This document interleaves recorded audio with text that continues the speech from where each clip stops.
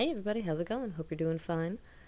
I would like to share this awesome experience with you today because this is uh, the very first painting that I've ever done on Nara black paper. So honestly, I have really, really, really been excited to try using alcohol ink on black support and I really wanted to use Nara's black paper. It looked so awesome and I never used it before um, and never painted with these inks on anything black.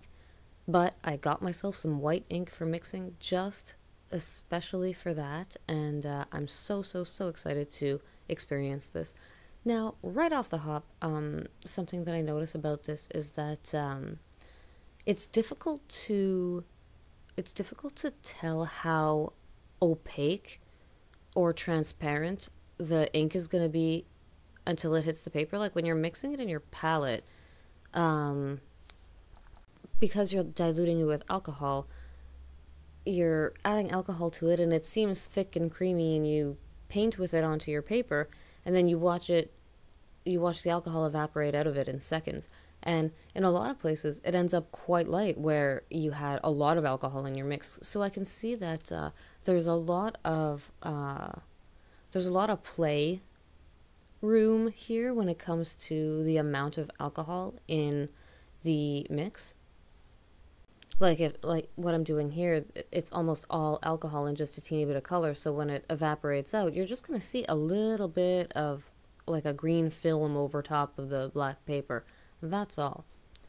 As opposed to if it were all ink where and white ink mixed in, whereas it would look like a mid turquoise green.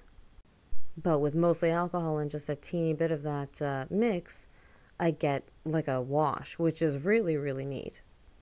Another thing that I notice is that I get a little bit more of a layered quality than I do um, with ordinary alcohol inks on a white support, like on white Nara paper, that which is what I use you notice right off the bat that there is really no layering.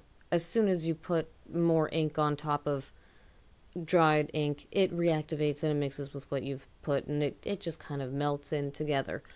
And it behaves in the same way on the black substrate with the white ink, but I, I feel like the white, uh, like the particulate in the white somehow stabilizes it a little bit more because I do find places where I'll, I'll pass over and I can see that brush stroke over top of the previous brush stroke and the brush stroke underneath does not seem overly affected. So it's kind of cool. You do get a little bit more of a layered look and uh, I feel like there's a lot that could be done with that texturally.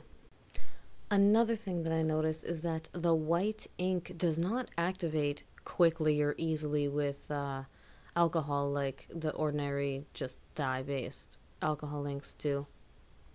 The white ink, while like if you spray it, it, the center of the cauliflower, for example, if I spray it with alcohol from my spray bottle, um, the that white ink will get wet, and you will see some little pock marks in it uh, where that ink has activated.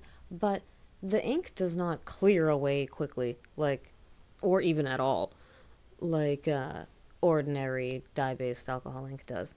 And for me, that's something to remember because I really like using my spray bottle for certain effects.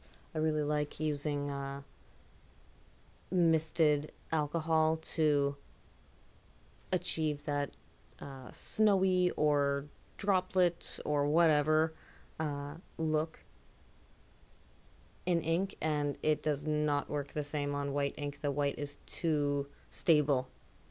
So that's something to remember too. My spray bottle doesn't operate the same on it. I want to draw your attention now to my palette, which um, is a collar from a planting pot. It's just a black plastic ring. But uh, I really, really love it for this because I can really set it up like a color wheel and just mix colors along the wheel where they ought to go and reactivate inks as I need to. And I think it's going to be a really lovely palette for that.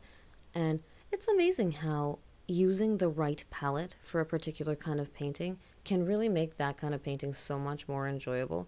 You know, maybe maybe we should do a video just on what kind of palette to use for what kind of paint. What do you guys think of that?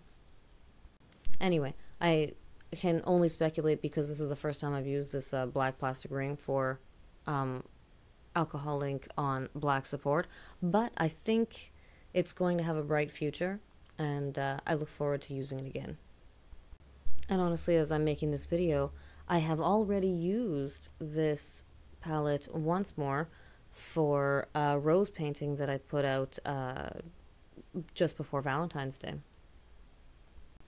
That was my second painting on this Nara Black. You see, I've been hanging on to this uh, cauliflower painting for a little while, wanting to make a video with it. And now I thought, oh, you know what I want to do? I really want to talk about black Nara paper because it was so much fun to paint on. There is such a neat quality of the uh, the creamy textured alcohol ink mixture on the smooth, beautiful black Nara paper. It is so pleasant to paint with. I'd do it even if it didn't look good just because it was amusing. So I highly recommend that you uh, give this paper a shot and maybe you should paint a mysterious cauliflower like I did. Until the next adventure.